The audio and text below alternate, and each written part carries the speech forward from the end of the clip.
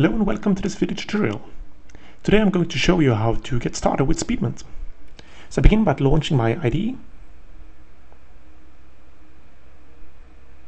And then I press New Project. Make sure to select the Maven uh, Java application. And then we name the project. In this case I take the name Speedment Example. Press Finish. So when the product opens, it will begin by showing you the pom.xml file, which is the product file in a Maven project. Uh, and if it doesn't show up automatically, you can find it under product files pom.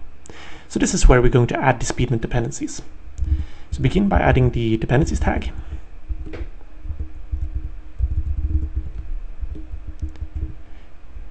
And add a group ID, artifact ID, and a version. So the group ID is com.speedment. The artifact ID is runtime, the Speedment runtime that we need to run the application. And then we set the version, and I'm going to take the latest version. Then uh, we need to add the uh, database dependency. So to be able to connect to a database, we need a connector of some kind. And in this case, I have a MySQL database. So I'm going to add that.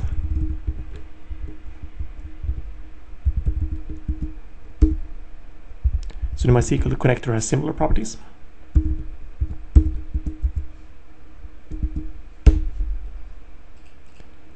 And I use the latest version of that as well. We also need to set the type of the Speedment dependency to POM, since Speedment consists of a number of different modules, and this is the uh, concatenation of them all. And then, uh, for the sake of uh, user-friendliness, we want to add the Speedment plugin to allow us to generate code directly from the POM by using a Maven goal. So I'm going to add a build section and then a plugins.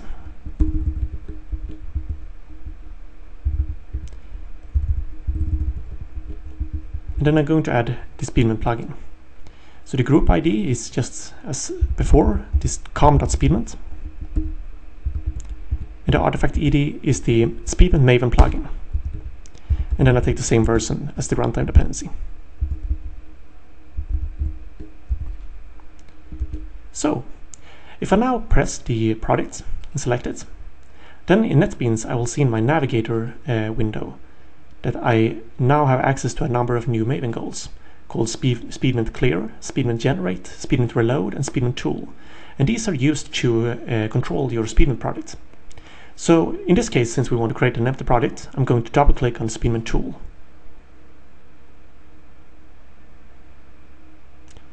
So this opens up the connection dialog. Even if we have not installed any software on our computer, Maven will resolve the dependency from the Maven Central and allow us to connect to a database in a graphical environment. So I'm going to select my MySQL database, enter my super secret password, and then name the schema that I want to connect to. And in this case, I have a database called employees. And press connect.